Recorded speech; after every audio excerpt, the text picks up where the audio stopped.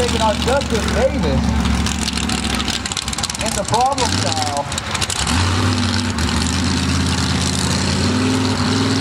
We got this race right here and then another one by side by side. If y'all can start heading down towards the pit area. Side by side. Anybody with a side by side that's out here tonight with a helmet that wants to race, head down to the pit area and we'll get ready to rock and roll.